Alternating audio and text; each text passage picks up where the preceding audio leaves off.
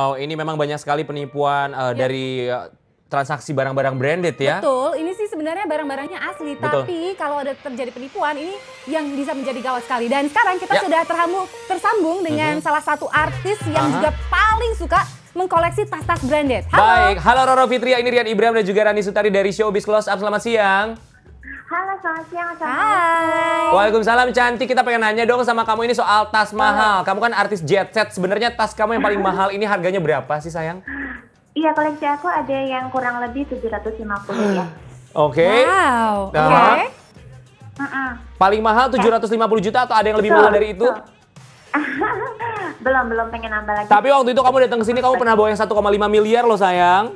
Oh iya, kalau itu clutch. Oh itu Oh, clutch. Wow, clutch. tuh kan Oke, 1,5 oke, miliar oke. loh pemirsa. Ya, Tapi tas- kalau Roro sendiri biasanya membeli tas-tas branded ini belinya di mana? Di toko atau shopping online di Indonesia atau di luar negeri?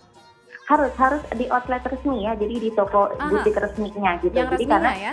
Ah, ah, jadi eh, di situ udah uh, garansi asli, terus Mhm. ada eh, sertifikat Iya. yang memang eh, jika kalau misalnya ada keluhan, ada Ah. ada mungkin eh, eh, servis atau apa bisa langsung eh, di toko resmi itu. Kalau misalnya kita beli di eh, teman atau beli Iya. di- apalagi di Aha. online itu eh, eh, pasti eh, ya 90% sih takut kenapa-kenapa. Ada resikonya gitu ya? Iya. Betul. Oke, iya. untuk Roro Fitri ya, kamu kan artis yang luar biasa nih, segala mewah banget. Kamu tahu nggak sih cara bedain tas mahal yang original dengan yang eh, KW? Karena yang sekarang aja KW ini super mirip banget gitu ya.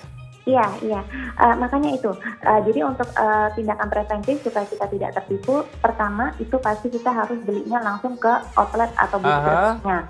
Jadi eh, garansi eh, ada sertifikatnya. Terus Ya. kalau untuk membedakan dari kulitnya pun itu sangat terlihat ya. Mhm. Meskipun sekarang mungkin ada eh, tipuan yang hampir menyerupai, cuman ketika kita eh, eh, apa usapkan eh, di di tangan itu kelihatan banget material yang asli atau Oh, enggak gitu. Beda Oke. ya, jadi betul. feel-nya aja udah beda gitu ya? Uh, uh, terus uh, dari jahitannya juga kelihatan kalau misalnya real asli itu tidak akan ada yang namanya uh, apa uh, sambungannya ya gitu. Mhm. Tapi Mhm. kalau misalnya KW atau tiruan itu pasti uh, ada benang yang yang disambung gitu kelihatan jadi agak kurang rapi. Oke, tapi kalau Roro sendiri pernah nggak sih kamu ditawarin orang atau mungkin sekarang eh, udah dengar berita-berita yang baru-baru ini ada penipuan?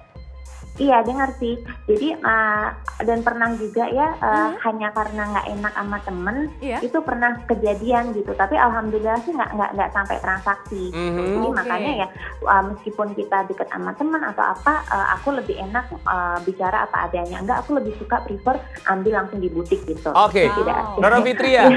Roro Fitria ini kan terkenal juga sebagai selebriti yang investasinya banyak sekali. Kalau menurut seorang Roro Fitria, apakah tas branded ini termasuk ke dalam investasi atau mungkin ada investasi yang lebih baik daripada tas branded? Nah, untuk investasi tas branded itu bisa, uh, cuman khusus uh, ke sesama yang uh, tas lover ya, yang uh, sesama penyuka tas branded. Cuman kalau bagi aku pribadi jauh lebih uh, concern kalau untuk investasi itu berupa jewelry, Oke, perhiasan. baik terima kasih Baik. banyak Roro Fitria, sukses selalu ya. Oke, Semoga iya, tambah sama-sama. hits dan juga Iya tambah dong, mewah tambah banyak lagi ya. koleksi tas brandednya mungkin ya? Betul sekali. Bye. Amin, bye bye.